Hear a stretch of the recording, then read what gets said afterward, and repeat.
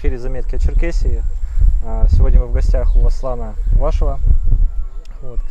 А, Аслан, э, в общем-то, ну, как местный житель, вот в Шахе очень хорошо знает э, народные традиции шапсугов. И мы хотели бы сегодня вот э, поспрашивать насчет некоторых традиций, но поскольку их как бы много, надо с чего-то начинать. Вот, поэтому я предлагаю начать с того, что уже ну, имеет некоторую известность. Это обряд вызова дождя. Он по-адыгски называется Хацигуаш. Хацигуаш, да. То есть э, насколько он сегодня этот обряд живой и э, ну, проводится, и как он проводится на сегодняшний день? Ну, если можно, я чуть-чуть поправлю. Это общеадыгский обряд. Угу. Оно, э, наверное, в каждом адыгском регионе какие-то свои отличия есть, но сценарий практически везде одинаковый. Слова песни «Вызова дождя» практически везде одинаковые, за исключением конкретных мест, где может Бог грома шума обозначаться. Ага. Допустим, он нас обозначается в песне, что вся его сила сосредотачивается в горах выше аула Талапш. Да, то есть тоже какое-то знаковое место для Бога. И вот оттуда как бы он начинает греметь, шуметь, сила потом распространяется на окружающую территорию, где помолились э, великому Тха, чтобы Шибля спасал воды. И что хотелось бы сказать, обряд действительно не мертвый. Он не просто этнографическая история э, адыгов, живущих здесь, он и рабочий обряд. Если какие-то ситуации с природой происходят, когда дождя долго не бывает, когда засуха, то и сегодня этот обряд устраивается. Но единственное, что нужно отметить, если быть предельно откровенным, то если в этом обряде там 20-30 лет назад принимало участие практически все население Ага. аула, то сегодня ввиду занятости, там, ввиду всяких э, разных бытовых дел, да, ну, обряд обычно ограничивается порядка 30-40, Ага. ну, максимум 50 человек. А молодежь э, обряд в основном совершают э, люди старшая? старшего возраста и люди младшего возраста. То есть э, середняков э, и в наше время, ну, Мгм. когда мы детьми были, середняков там практически никогда не бывает. Э, Смысл обряда заключается в чем? Когда сила засухи настолько страшна, что уже грозит там и урожаю, и людям, и животным, отправляется гонец, один из достойных людей аула, за водой на озеро Хлыд. Он приходит, берет эту воду, возвращается в аул и отдает эту воду кому-нибудь из тех, кто этот обряд будет проводить. Обычно с этой водой люди приходили к речке и опускали э, воду в сосуде в реку, в зависимости от той ситуации, насколько нужно много воды. Если воды нужно очень много, то относили воду на море. А Озеро Хуко, это сын моря переводится, и Х море. То есть Мгм. как бы связь сына э, с отцом происходит, и отец посылает тучи на помощь к своему сыну, и в процессе передвижения к туче на землю спускается влага. И народная примета всегда говорит, что воду из емкости нельзя выливать ни в реку, ни в море, потому что это приводит к стихийным бедствиям. Это смерчи, это ураганы, это сильный ветер, это потоп, это затопление, все что угодно, но это очень страшно. И вроде бы как бы легенда, но вот даже на территории нашего аула, э, вот малого Чумай, где мы сейчас находимся, э, но это уже было давно, это были 37-38 год. Э, Здесь был отдельный колхоз, и в нашем Большом Кичмае был отдельный колхоз. И вот жители э, колхоза, ну, участники колхоза на общем собрании выбрали представителя, он пошел на он взял воду. Вернулся в аул рано утром, не стал куда-то что-то ходить, просто...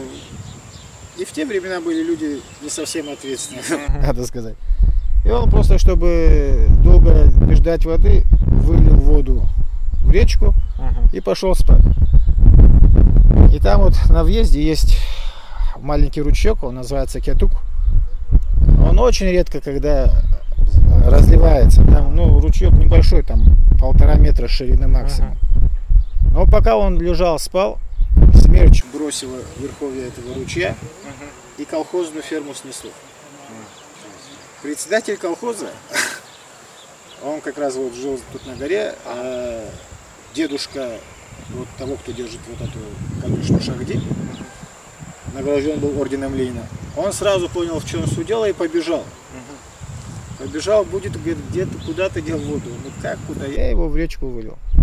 Говорит, смотри, говорит, если кто-нибудь узнает, что ты его в речку вылил, и меня, и тебя, говорит, арестуют, окажемся в тюрьме. Ну, эта история потом раскрылась, но уже гораздо позже, когда с репрессиями было покончено.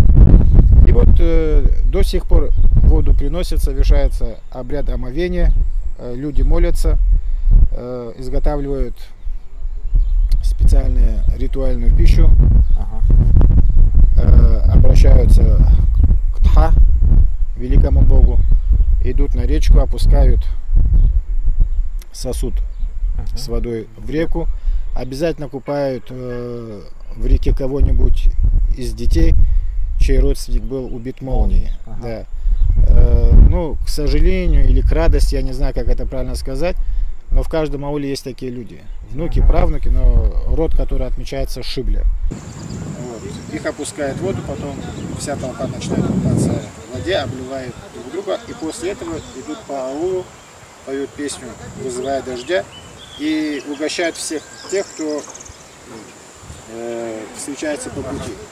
И при этом каждый, кому подходит, если это двор или еще что-то, его поливают, он поливает. В этот день можно поливать всех, кого угодно. Мы были детьми, у нас э, в ауле жили красивые по нынешним временам старики.